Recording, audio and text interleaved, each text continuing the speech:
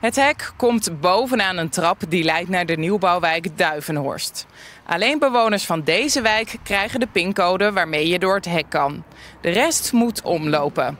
De maatregel moet de overlast die inwoners ervaren stoppen. De gemeente laat in een schriftelijke reactie weten dat het hek een maatregel is die eigenlijk niemand wil. Er zijn alleen steeds opnieuw incidenten in de wijk. Door cliënten die vanuit de kliniek door de wijk lopen en bijvoorbeeld drugs gebruiken in de speeltuin. Nou, het hek zou rust moeten bieden aan bewoners. Inwoners van Den Dolder voelen zich al langer onveilig. Dat gevoel is versterkt sinds de dood van de Utrechtse Anne Faber.